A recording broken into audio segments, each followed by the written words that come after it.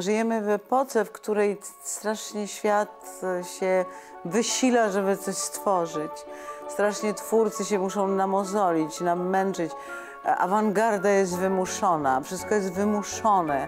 Jakieś takie, czujemy jakiś, jakiś napór, żeby osiągnąć sukces, żeby coś opowiedzieć inaczej, oryginalniej, e, głębiej. U Alena tego w ogóle nie ma.